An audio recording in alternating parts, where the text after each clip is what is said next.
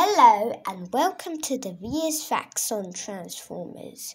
In this video, I'll give you 10 facts about Optimus Prime. Number 1. Optimus Prime is the leader of the Autobots. Number 2. Before coming Optimus Prime, he was called Orion Pax. Number 3. In different versions of Transformers, Orion Pax had different jobs on Cybertron. In the Generation 1 cartoon, he was a dock worker. In the modern versions, he was a clerk in the Iacon Hall of Records.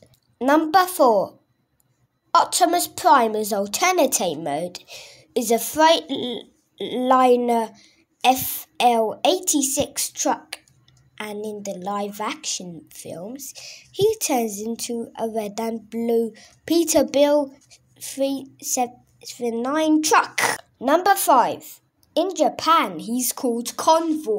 Number 6. Optimus Prime uh, has appeared in many Transformers series Generation 1 cartoon, Transformers Armada, Transformers Energon, Transformers Cybertron, Transformers live action movies, Transformers the animated series, Transformers Prime, Transformers Rescue Bots, Transformers Robots in Disguise, Transformers Cyberverse, Transformers War for Cybertron on Netflix series, and Transformers Earthspark. Number 7. In many versions of Transformers, Prime has been killed off and brought back to life.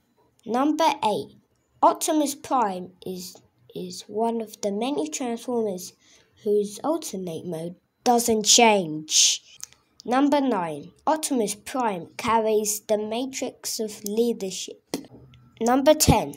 His Generation 1 toy was released in 1984.